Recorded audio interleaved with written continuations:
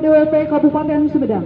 Upacara ziarah dalam rangka peringatan HUT Korpri ke-48 dengan tema berkarya melayani menyatukan bangsa tingkat Kabupaten Sumedang tahun 2019 di Taman Makam Pahlawan Cimayor Sumedang oleh Sekretaris Daerah Kabupaten Sumedang. Sekda selaku pembina upacara ziarah meninggalkan lapangan upacara guna melakukan tabur bunga dengan satu persatu diikuti oleh pejabat lingkungan pemerintah Kabupaten Sumedang, Wanita Persatuan Kabupaten Sumedang, dan Forkopimda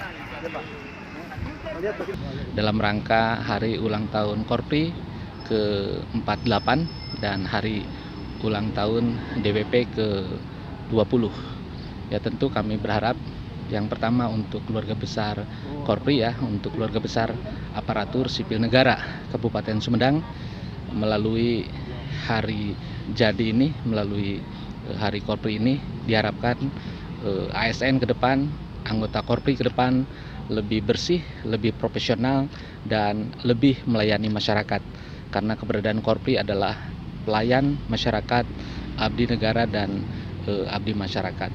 Demikian juga kepada keluarga besar DWP, kami harapkan bisa menjadi pendamping suami untuk mendukung e, karir suami, untuk mensupport agar para suaminya yang ada di jajaran e, Korpri lebih bersih, profesional, dan melayani.